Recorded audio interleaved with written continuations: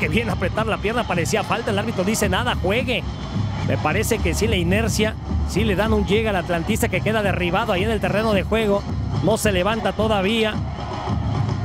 Juan Pablo Domínguez es el que quedó derribado. Que viene el disparo. ¡Gol! ¡Del Atlante! Aparece Edson Partida y saca riflazo abajo.